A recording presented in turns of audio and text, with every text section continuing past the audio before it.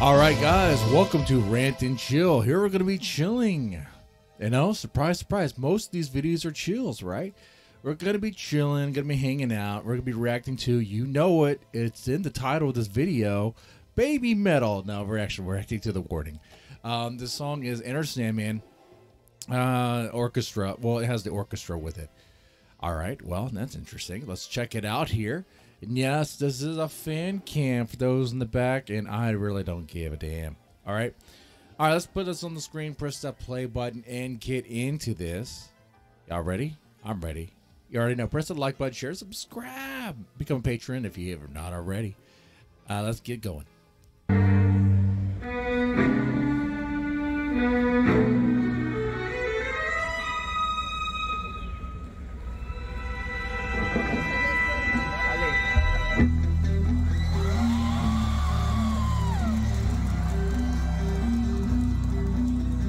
That's cool that they have that orchestra there. That's pretty cool.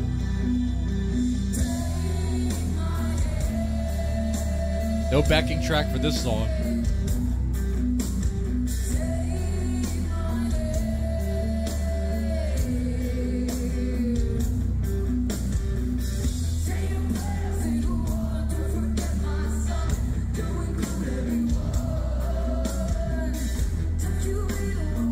That's enhanced.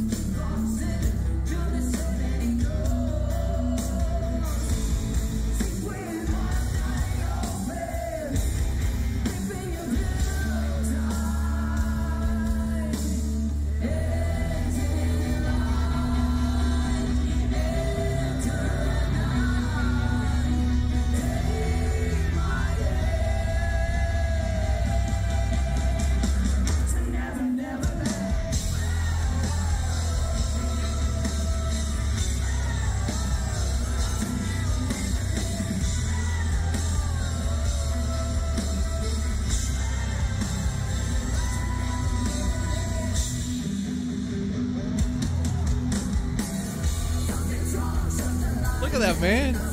Freaking rock star.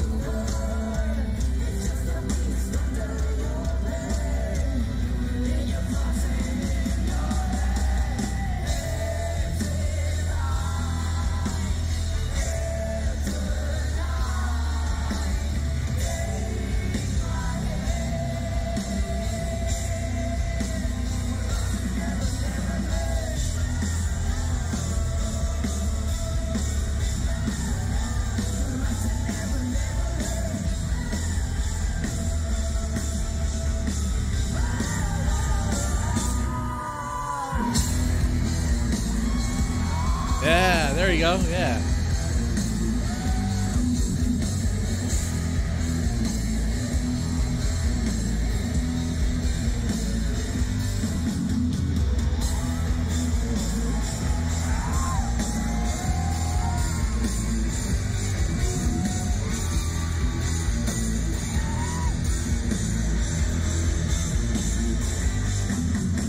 I like that guitar she's using too, man. Oh man, so good. That's so good. So that's the warning there. of playing Enter Sandman, their version of Enter Sandman with orchestra. All right, let's talk about this here. Not the first time, not the last time hearing the song, right? It's a good song. I like how they made Enter Sandman their own. They changed it up. It still has the spirit of it, though. Uh, maybe Metallica fans would argue about that and all that stuff. You do hear that iconic riff you know the way it's played by Metallica at the end of the song. I mean, that's what people were kind of waiting for, kind of, sort of. But I do like how um, you kind you still hear it, but it's just kind of changed up a bit. Um, not to the point where it loses its identity, but it, it you know, it, it's kind of some areas are kind of um, well, like I said, the warning made it their own. They made it very the warning like there. Um, the orchestra was really cool. Uh, I mean, I mean, like, what does what does it really do? It, it gives the song more of a atmosphere. It gives it more of a, uh, it just enhances it, you know. And they could have just used a backing track, but they didn't. Um, no, they had the, I guess, the way to, they don't get the money for it, and we're like, hey, you know what? Let's let's get an orchestra here for. Uh, did they just use them for this one song? I mean, if you have them there, why not just use them for some other things?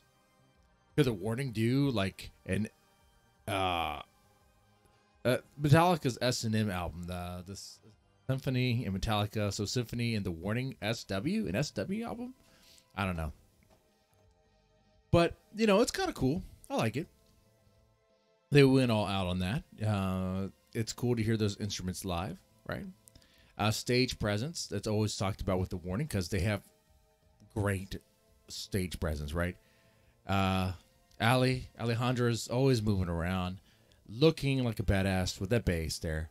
Um, the way she moves and bends and, and squats, gets low, and all that stuff is very animated, right? And when she gets on the platform, yeah, that that, it, yeah, I think all attention's on her, you know.